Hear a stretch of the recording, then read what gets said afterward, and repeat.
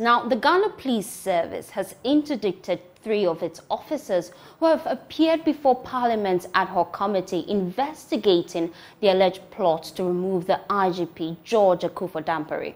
Now, according to the police, this will pave way for internal disciplinary action into their conduct.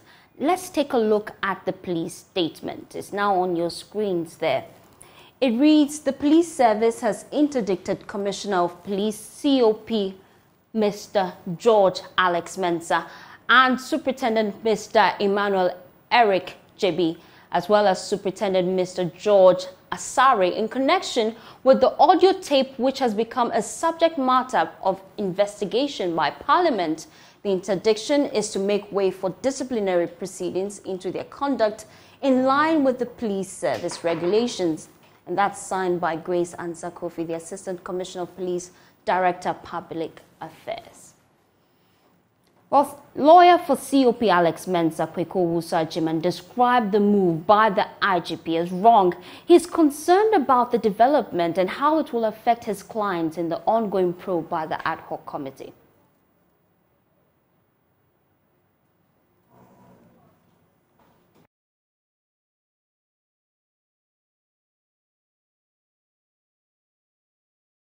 It has been said with the interdiction letter. This was done um, yesterday. Well, it comes as a surprise to us because, um, as you know, Parliament is investigating this matter to establish the facts.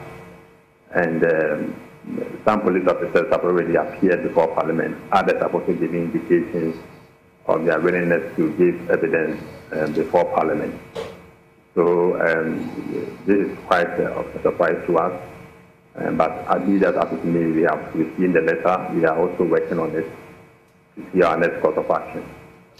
Oh, it's, it's fine. We have had conference with him early this morning, and um, we are in, the, in a few hours from now. I'm sure by close of day, you also know what you make of this letter. What this is seeking to do is to gag other officers who have tried to come to the committee to give evidence and which we think is, a, is an unhealthy development. You know, when you appear before a committee of parliament, I mean, whatever answers you give to questions which are posed to you according to the constitution cannot be used against you. It's only when you commit perjury. Uh-huh. So, if this is the course of action which the police now want, it has a likely result. Let's stay big longer on this because this is big. We're joined on the line now by the security analyst, Dr. Ishmael Norman. For more, many thanks for joining us here on Joy News today. Now, this is happening at a time where the ad hoc committee probing the leak tape is even yet to publish their results or even report. How would you think this move by the police service will affect the two people before the committee right now?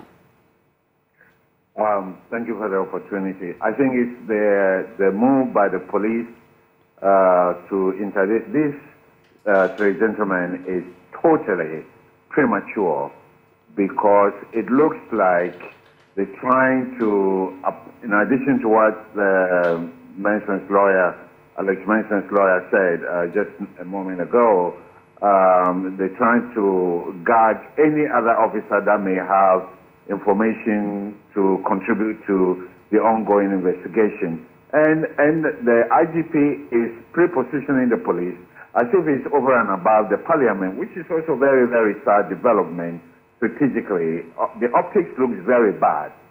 I think that they are also gagging any other police officer that has an issue against the establishment.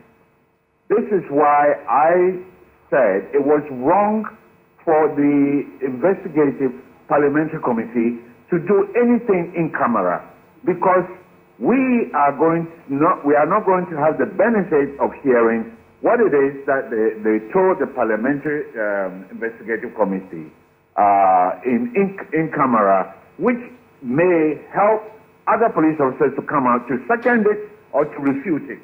So this whole move is just terrible only hmm. in Ghana.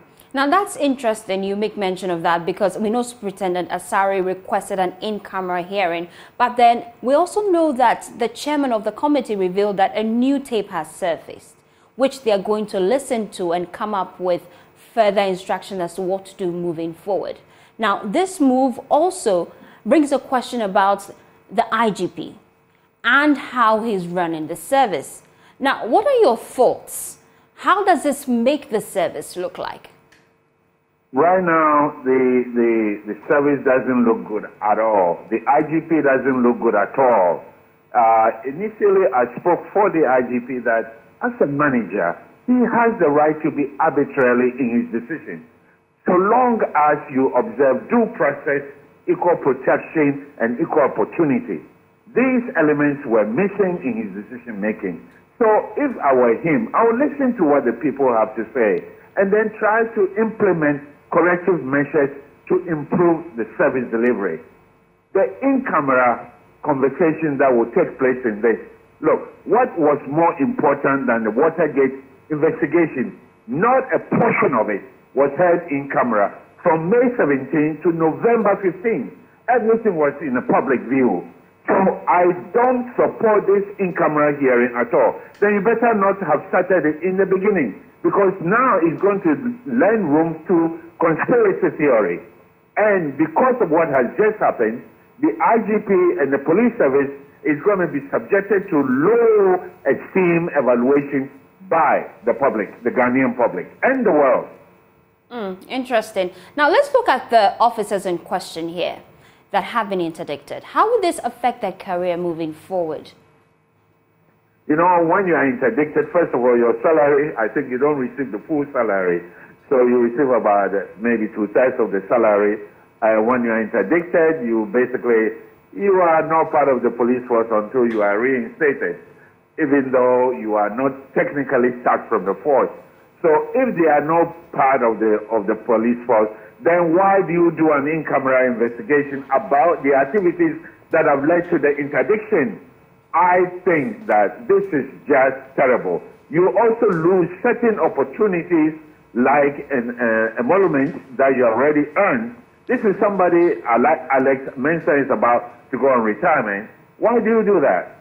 You know, I, if I were Alex Mensah, I would now be boldly speaking to the media about everything and I will reject any in-camera conversation. I will let the public, the Ghanaian public, know why the IGP is trying to find a way to intimidate him and his and the other men that are being invest, uh, that are helping the parliamentary investigative committee to basically look into the Ghana Police Services operation under this IGP. Is he going to interdict the four other police officers that have sued him in a court, uh, in a court of law? Because in the court of law, whatever it is that he doesn't want the public to know about will come out. Mm. Thank you so much. Dr. Ishmael Norman is security analyst. Thank you for joining us here on JN today. Now, the police service is still in focus. This time, they are actively engaging primary school pupils in Accra to educate them about policing. The primary objectives are to demystify the concept of policing and instill a sense of security consciousness within them regarding their immediate environment. This initiative is part of strategies to add meaning to the mantra, police is your friend. It is being led by the IGP, Dr. George Akuffo and My colleague Samuel Mbura is at that event. He joins us live with more. Samuel, what has the IGP been telling children at school?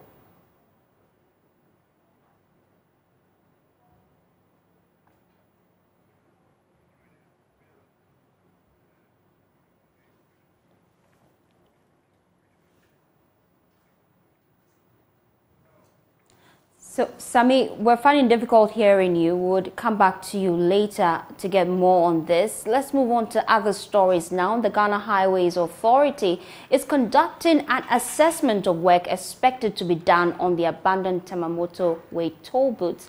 At least one person has been killed, leaving several others injured, sustained from crashes recorded at the abandoned toll booths. Well, Joy News in the last couple of weeks has been reporting on the deadly nature of the boots, which have become a major sport for accidents on the stretch lately.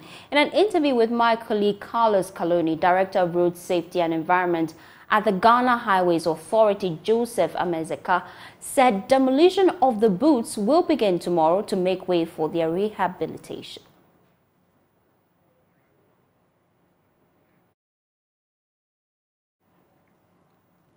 Unfortunately, we don't have that soundbite. We'll bring that to you later on. Well, the Driver and Vehicle Licensing Authority, DVLA, is phasing out all old driver's licensing card issued before September 2017 from the system. The DVLA says these old cards will be replaced with smart driver's license cards. Now, this was contained in a statement issued by DVLA on September 6, 2023. The exercise, according to the DVLA, takes effect from now till the 31st of March 2024, after which all old cards driving license will be rendered invalid by the authority. Director in charge of driving training, testing and licensing at the DVLA, Mr. Kafui Semevo, tells us more about this initiative. He spoke to my colleague Mamiesi Thompson on Newsdesk. Now, from the 16th of this month, all the old ones would have expired. So the invitation is for those who have the old license to submit them for renewal and replacement so that they will also get the smart card license. Ordinarily, if we were using the same license across the country, in the sixth year, you still have submitted it for replacement. And those that were issued, they are in their sixth year. So they would have still submitted it for replacement. So it's not a it's a, legal requirement. The ITEST has always been part of the renewal process. Now, the replacement actually involves renewal and replacement. So in the sixth year, your license is still expired. So as part, as part of the renewal process, that is why you have to do the eye test. Every person who has a license and has to renew it is required to do the eye test. We accredited eye test centers across the country to carry out eye tests for the services that are provided by the DVLA. And we have published the list of these uh, facilities. We've also gone ahead to uh, give signages that identify them and also provide means of verifying those centers. So the eye test is done by the specialists in those centers, and the results get to us electronically, and we can continue to provide it. Well, let's take you back to our earlier story. The Ghana Highways Authority is conducting an assessment of work expected to be done on the abandoned Tema Motorway toll booths, and we know that at least one person has been killed, leaving several other passengers injured. My colleague Carlos Calony is currently there. He joins us live with more. I have with me the uh, director in charge of uh, road safety and environment here, uh, in the person of Joseph Amejake. He's going to be telling us uh, the specific reason why they are here this morning and then what motorists should look forward to. Uh, you are live on Joy News. So uh, we see you here this morning. Uh, two days ago, you gave us an assurance that you would be here. Yeah. Now you are here. What is the purpose? Yeah, please, uh, we are here principally to carry out a final assessment of the needed works to be done to address the safety problems at the two-booth section of the motorway. so, like you will see, we recorded some accidents here which resulted in a loss of lives. And as an authority, it behoves on us to take necessary measures to address those safety concerns. So we are here, we did some preliminary assessment of the works that are needed to address the problem. Today we are here to uh, carry out a final assessment to, for work to commence tomorrow. So principally that's why we are here today. So as you can see, uh, we want now to limit we want now to limit traffic, vehicular traffic to the original motorway section of the at the two booth section. So we are going to block the extension that we have carried out, we're blocking it with uh, concrete uh, bar uh, barriers. And then all obstacles on in the way of the original motorway section, that's the concrete pavement section, we are going to clear them off. So that when you are coming from the Accra end of the motorway, you don't need to uh, divert your course. You just come straight using the concrete pavement section, and then you can get uh, you can can go straight to Tema. And we are also going to install solar-powered street lights to enhance visibility at night at this session, so that at least uh, to enhance safety here, and also make sure that we put in the needed, needed sign, uh, uh, traffic signs, to inform and direct and warn uh, road users. So we think that uh, when these measures are carried out, we should be able to improve safety considerably at this section of the motorway. All right, so for the purposes of clarity uh, of what you're saying, now in your shot, you can see that there are vehicles coming all the way from Accra. Uh, they are using uh, the extreme end of the uh, motorway, which uh, before you were using to collect toll. But you are saying that uh, now, with the work that you are going to carry out, you are going to block all those areas and make way on the motorway itself which means that when you are coming from Accra, you don't need to detour to the other end. You just have to use the motorway all the way. So, which of the uh, the toll boat are you actually uh, going to, um, you know, clear?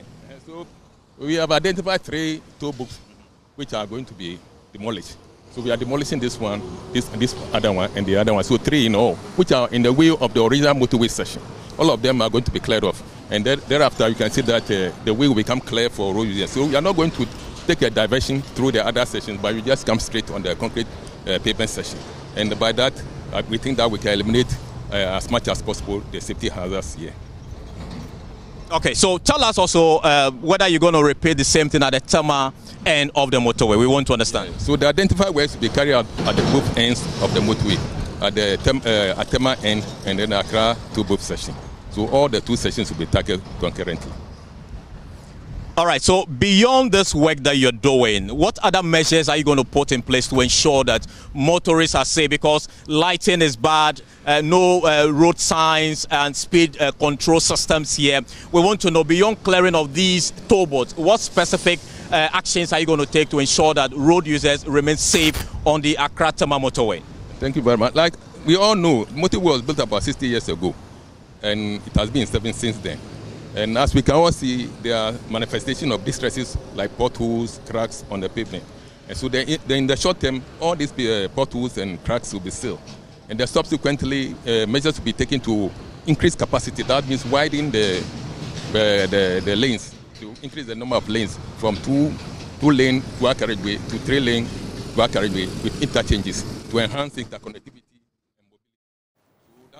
Now let's take you now to the Ashanti region where several shops have been removed and artisans evacuated to make way for the Suame Interchange project in Kumasi. Affected artisans and traders, however, want the government to keep to its promise in fast-tracking project execution. Nabwache Yadum has more in the following report. After several months of setbacks, traders supplying all road networks leading to the Suame runabout have been evacuated. The exercise is to pave way for the construction of the long awaited Suame Interchange project. Some affected artisans say their compliance with the eviction directive must be reciprocated by the government's fulfillment of completing the project on schedule.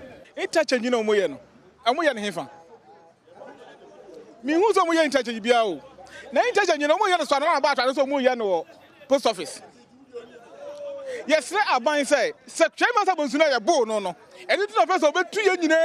I can't see any interchange here. Did the government evict us because we threw water on a Seche Mensa Bonsu? Well, if we do not see the commencement of the project anytime soon, we will come back to make sales. Deɛ mepɛ sɛ meka no sɛ sɛ aban no antumi amɛyɛ deɛ wɔka no a yɛbɛsan ba biom abɛtena baabi a yɛtrɛ no a because yɛnsɛ ne sɛ wɔabu dan no. Wode wobu dan no yɛde akyɛ no. Yɛbɛsa bɛsi adeɛ ne yɛsa bɛyɛ adwuma no foforɔ. Ɔmo nhyɛ hwee ase ɔmo nyɛ hwee ɔmo boa. Ɛɛ yɛ adwene kɛse ɔmo yi sɔmɔ yɛ yɛma ne tam next month ɔmo ama yɛ a ɛbɛsa ne nneɛma nyinaa sɛ bɛsi ase. Yɛbɛtumi aka kyɛ ɔmo ano no. Ɔmo tumi nyɛ hwee mmoa ɔmo boa. Ɛyɛ kɔkɔ de dwɔn ɔmo They have not done anything. Everything they say is a lie. We are giving them up to a month. We must see them working. We will bring back our things to begin our regular job. Dena wo hɛ dena kɔ so a. Wa hwɛ hwɛ hwɛ. Esu ayi ɛ mo na wi yasa ntontom wi yɛ ma yare. Ni nyina yɛ asɛ papa. Yɛ dwuma nyina gu. Yɛ tie nyɛ hwee yɛ ba bɛ tena asa ne kɔ. Ti bɛ tuma kan sɛ yɛ no bɛ tuma bɛ ɔde next month ɛdɛmɛ sɛ bɛ si ano ano. Interchange no a wɔreyɛ no. Kɛyɛ ma yɛ ɛyɛ ade papapa na wɔreyɛ na mi de nu sɛ wei no. Ɛyɛ ade ako daadaa adoe The interchange would help us, but I don't trust them. They can't complete it by the scheduled time. They will abandon it for the next government, just like what they did at Sofoline. It's only a strategy to let us vote for them again. and one day between us, interchange. Now, Santa Fosa to Obama MPP. Interchange, you know. Patro sɛ mo so mbɛyɛ ama yɛde a yɛsrɛ mo ada monya ma yɛ na nnipa bebree mu tu wɔn akɔm de nkɔfoɔ paa bebree wɔn akɔtena akora ase If you have promised to do the interchange, please do it for us. Because people have lost their jobs due to the eviction. It would be a disgrace if you don't complete the project. mfuturo yɛ yɛ a monhwɛ ma yɛn ɛyɛ saa deɛ neɛ ɛha yɛ deɛ mfuturo bɛsɛ yɛ nneɛma ho nyinaa yɛ magazinefoɔ deɛ yɛpɛ mpuntuo. Yɛse ɛnyɛ yie na ayɛ yie nti yɛpɛ de sɛ ɔmba bɛyɛ kwan no ma yɛn We want progress, so we support this project. We have never opposed it, but we are pleading with the government to fast track its construction.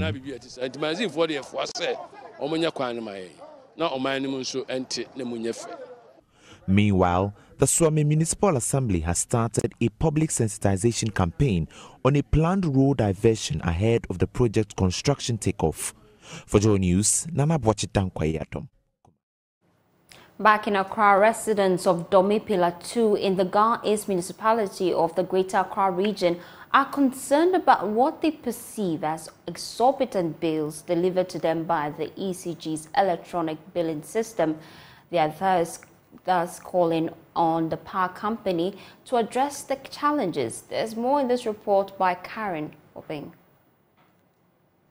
Residents of Dome Pillar 2 in the Greater Accra region are becoming increasingly alarmed by what they describe as the abnormally high electricity bills they are compelled to pay due to the implementation of electronic payment systems by the Electricity Company of Ghana. They have been on the ECG's electronic billing app since September 2022 but argue the app does not accurately depict their actual consumption, resulting in overbilling. It's been about 12 months since we received paper bills for postpaid meters at least because I know of other houses around here that have prepaid and they don't have this problem. So since September 2022, no paper bills here. We contacted ECG and we were told that we can just do estimates around what we've been paying in the past and then go ahead and pay until this is resolved. But we know that there have been tariff increases. So we are thinking to ourselves, what if you are underpaying? And revenue is still being collected. You are here, they come and they want to collect money. If not, they are disconnecting you. So we're concerned about the fact that probably we are underpaying or something. We just need visibility into what we actually need to pay. Just give us our bills. But it never came. The residents say they are unable to view previous usage, therefore making it impossible to budget if you are on on a iPhone on a iPhone this is how you go about it. If you are on on android this is how you go about it. If you want to see your charges maybe this kind whatever that is happening people have to get access to it because it's not everyone who even have a phone. So this uh, app that is coming up for the changes about electricity they have to educate people for them to understand to get access so because someone who is at the village, maybe an old woman, you paying bill, no one is around. How is she going to do that? In 2020, the Electricity Company of Ghana launched a mobile application designed to make the purchase of electricity credit and the payment of bills convenient for customers.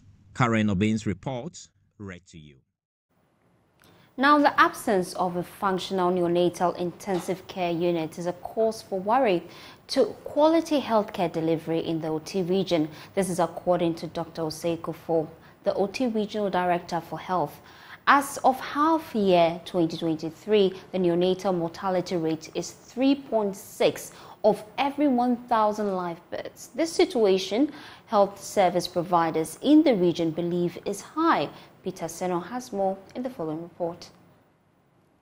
Natal mortality rate also increased from 1.2% in the half year of 2022 to 3.6% during the same period 2023. It means when our children are born within the first 28 days, they die. It used to be the fight against maternal mortality, but now it is neonatal mortality. The current neonatal mortality rate of 3.6% of every 1,000 live births is attributed to the non availability of functional neonatal intensive care units at the various health facilities across the region. Currently, the supposed regional hospital, Rara Government Hospital, has only one functioning incubator and a baby warmer to take care of newborn babies with health complications. Dr. Jose Kufuafre Oti Regional Director for Health. He has been speaking at the 2023 half year performance review meeting. One of our challenging areas, as you are mentioning, is high neonatal deaths that we have seen uh, this year, which is very, very worrying, with many of the deaths occurring within the first five to seven days after the babies have been born. And our analysis have shown that uh, we don't have proper neonatal intensive care units, or which we call NICU. We don't even have incubators in the region to be able to incubate or help uh, babies who are premature uh, and they are born. He is appealing for support to remedy the situation. So Now, over 120 toilet facilities are expected to be handed over to public basic schools in the greater Kumasi metropolitan area for November this year. The initiative under the Sanitation and Water Project is to improve access to toilet facilities at the over 1,000 public primary schools in the region. There's more in this report. Accessibility to convenient toilet facilities still remain elusive to many communities across the country, especially in schools.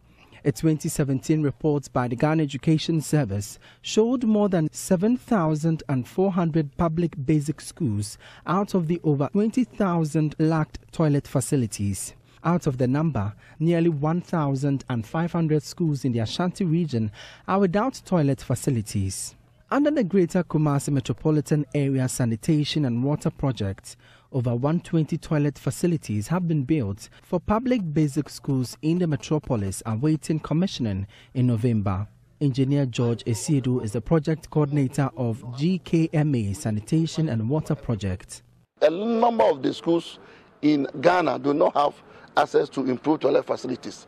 And if you are to achieve SDG 6, we need to ensure that everyone living anywhere have access to improved toilet facility.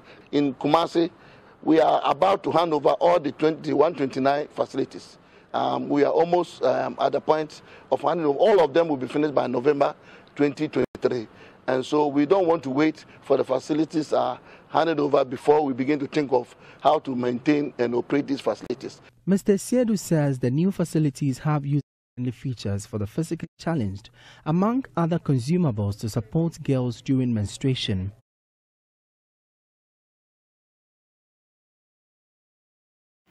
Well, time and resources to go to the farm site to monitor the condition of the farm and to manually irrigate it may deter many from partaking in this venture. Fortunately, a mechanical engineering student of the Sunyani Technical University has developed a smart farming system to curtail these problems. Well, Love FM's Kwesi Deborah speaks with the developer Esther about Infotech Thursday.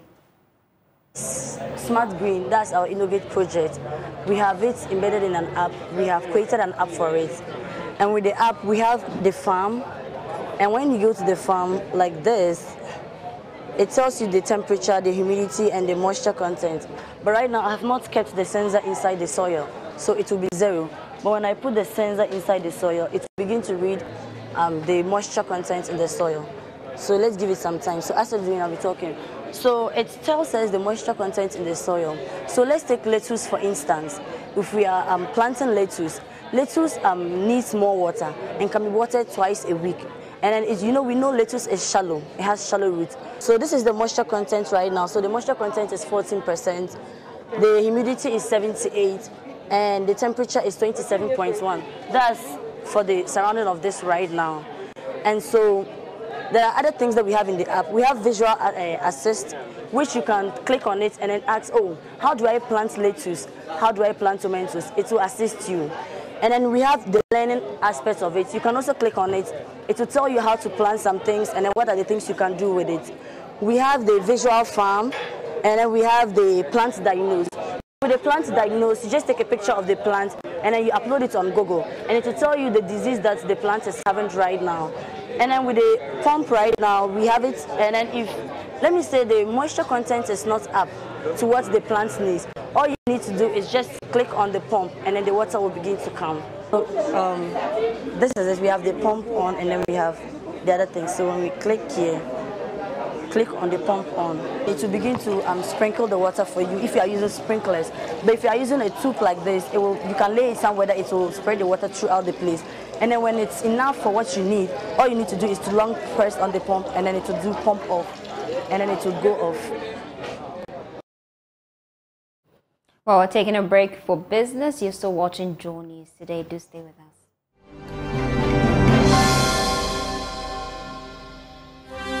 Hi, good afternoon. Welcome to Business. My name is Daryl Kwao. Access Bank Ghana and Deloitte Ghana have begun the SME Business Interaction Series. The project, which is aimed at helping small businesses with funding, will provide money to expand the operations of 10,000 SMEs. Here's more in this report. Businesses in Ghana continue to face funding challenges due to the difficult economic conditions faced by the country. To help solve the challenge, Access Bank Ghana and Deloitte Ghana have collaborated to help small businesses access cheap funding. Group Head of Business Banking at Access Bank Ghana, Kafui Bimpe, speaking to Joy Business, said the project is designed to train SME on bookkeeping, taxation, and governance. What we see here today is just a continuation of what we have been doing at another level. Um, we are so committed to the development of SMEs. We want to bring them to the levels that we see globally, uh, growing them to become multi major multinationals. So, over the years, we have provided a number of uh, imperatives for them, including migrating them to digital space, including giving them um, market access to market, provided finance to them. Today, we it's a first of its kind. We started our business interaction series, and we have brought on board Deloitte Ghana. Everybody knows Deloitte, the wealth of knowledge they have, the experience, the exposure they have. So we are bringing that to the SMEs to just help them build capacity to be able to develop further. He advised SMEs to develop skills acquired from the workshop to expand their businesses. They should expect significant growth in their business through uh, the superior knowledge that will be shared, through the tools that will be given them by Deloitte and Touche, and the fact that we will also be able to continue to support them in terms of giving them finance. It is not worth giving them money when they don't have capacity to scale up their business or when they cannot derive them. Now, the third clinic of the EcoBank Joy News Habitat Fair is expected to offer products at prices significantly below the market rate. That is assurance from General Manager for Sales and Customer Service at the Multimedia Group, uh, David Max Fuga. According to him, the decision to host this third mini clinic in Tema is due to the increasing number of housing projects in the Tema metropolis. Max Fuga also mentioned that regulators will be present to educate and inform patrons about the process of acquiring a house. All we seek to do with the Habitat Fair is to create a platform for all those who are within the housing value chain to showcase their products and services to property seekers and to anybody else who is interested in everything housing. Um, this year, we decided to expand beyond uh, the traditional areas. We've always been at uh, Achimota Mall, we've always been at West Hills Mall, we've always been at the Junction Mall, Teshie Nungua. But this year, we realized that there's a lot of development taking place in and around Tema. And so we decided to move to Tema to give opportunity to property developers, to property seekers, to those who want to are interested in the, the auxiliary services, roofing shades, uh, furniture, everybody. People who are within that catchment area to have the opportunity to shop for their needs at one place. So we are looking at the Tema Township itself. We are looking at uh, Boom, Pram Pram, Dawhenya, all the way to Tsopoli. And then the Fienya side, the Michel Camp side, um, part of uh, Nungua, part of Teshie, part of Spintex Road. There's a lot of development taking place and we believe that those people need to be catered for. You don't need to drive all the way to Accra. You don't need to spend precious time searching for the things they want. So we are bringing Habitat Fair to their doorstep. So just have to walk in to the Tema Municipal Assembly and then shop for everything that they want for their housing projects. If you walk into the Habitat Fair at the Tema Municipal uh, Assembly from 15th to 17th, you can be sure that whatever you're going to purchase there will be far less than the market price. One other thing is that we are ensuring a variety. And so you are not only going to see the real estate developers, you're going to see everybody in that value chain there. And so that's another plus for the Tema Fair that is, uh, did not happen at the two other fairs that, or mini fairs that we've organized so far. Um, this time we are bringing some regulators. Okay, fortunately we are doing it within the, the assembly, uh, assembly premises. We are bringing the regulators who will also be there to guide people in acquiring properties. For us, it is very important.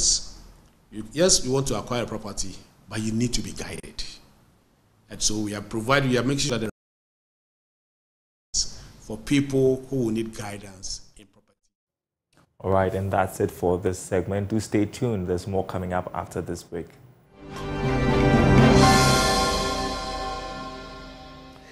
Pleasure Sports now on Joy News today with me, Muftau Nabila Abla Black Stars head coach Chris Hughton says he and his boys are committed to protecting the record of the Syria national team not losing at the Baba Yara Sports Stadium.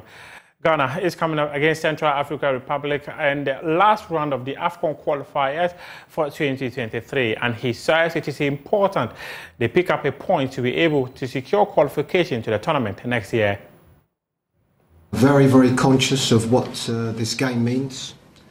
Um, not only the, the nation, but of course the, myself, the players and everybody involved, we know what this game means. So our preparation um, uh, has been for the last two days. You know, I've often spoke about the difficulty of, of, preparation at international level, but it's the same. It's the same for the Central African Republic team training today and playing tomorrow, and it's the same for us. We will do everything that we can to get uh, the result that we want to get. Um, so our preparation has been good, uh, as with all international camps, sometimes you miss players through injuries, and of course, we are missing some uh, through injuries, but it's always an opportunity for others. We are playing at home, we have a good record here, and it's a record that uh, we want to continue. There's nobody that has the right to be in any squad. They have to earn that right. And that can come in different ways. That can come with somebody like Andre, who's our captain, who's uh, a big influence and, and respectful player, respectful player around the squad. So for what he can add to the squad, um, and Edmund Addo, you know, for the games that he's played, and also for the options that we have in central midfield. And um, you might think different, but we um, certainly as from offensive offensive midfield you know, we don't have as many options as what we have in other positions. You know, particularly players that have played uh, and been in previous squads. So for, for every player that's in there, there's a thought process that goes on. You know, nobody. Meanwhile, a Central African Republic head coach, Raoul Savoy, he says that his team is here to upset the Black Stars and secure the ticket to the African Cup of Nations that will be staged in uh, Cote d'Ivoire. He says that there are three countries that still stand a chance of qualifying, and Central African Republic will give their best when it comes to this game. We are three teams still in the race. Uh, for us, we missed the qualification last game against Angola in Douala, so now we know exactly what we have to do tomorrow. So now for tomorrow, uh, we know that we need a result, clearly. So I, I, I don't want to say that it, be, it will be first uh, easy, but we are, we are going to fight and see, you know, every game has a story, and we'll see tomorrow at the end of the game exactly who will be happy and uh, of course not. But for us, we are humble. We know that we are going to fight, and uh, let's see tomorrow uh, the story as it is end. He says, let's wait and see what happens later today. The game will be happening at Baba Yara Sports Stadium at 4 p.m. and we'll bring you commentary on Joy 99.7 FM. My colleague Fenty Otai, who will be joined by Gal Al Smith, Daniel Cranfin, and Razak Musbao. To some politics, Governor Fair. Um, George Afriyie, who was vying to become the president of the Ghana Football Association, has been disqualified from the race by the Elections Committee of the Ghana Football Association. According to the Football Governing Body Elections Committee, George Afriyie um, was endorsed by some members who either did not sign the document or um, they, he secured uh, the signatories of uh, one of the members fraudulently. They described it as falsehood being peddled by one of the members who signed, specifically Jeffrey Asari, who claimed to be uh, a director of Victory Football Club and signed and endorsed the form of George Afriyie, is not the authorized signatory per the statutes of the Ghana Football Association. Hence, the GFA have decided to disqualify George Afriyie from contesting in the elections, uh, which scheduled for later this month. The elections currently is on hold because of King Faisal's decision to injunct the process uh, at the Accra High Court. The case will be heard on September 19.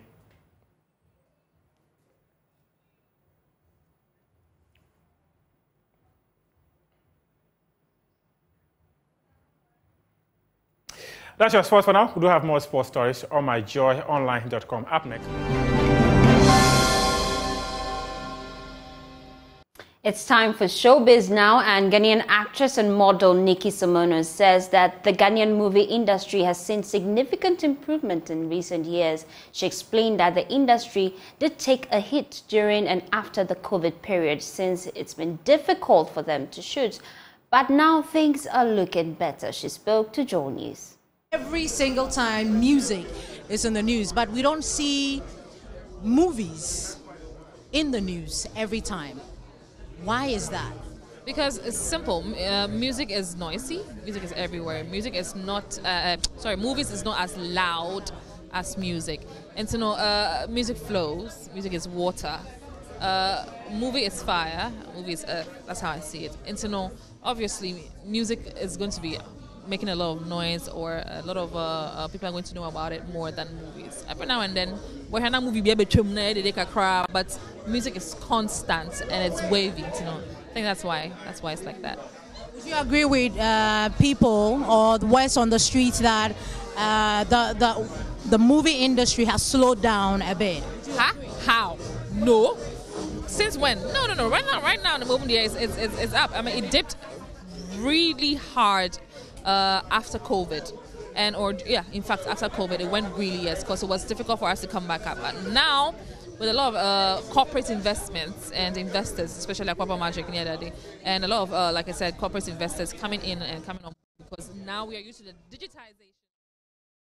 Now, despite the recent trend in Afrobeat music, dancehall artist Episode says high life is the future.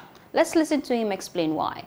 Um, that is where the world has gotten to. They've grabbed onto Afrobeat. But I want to say that High Life is the sound of the future. Because what I say is, there's a whole like five decades of a catalog, a Ghanaian catalog before Afrobeat, which we've not touched yet. If Ghana has close to 600 rhythms, we've not scratched the surface yet.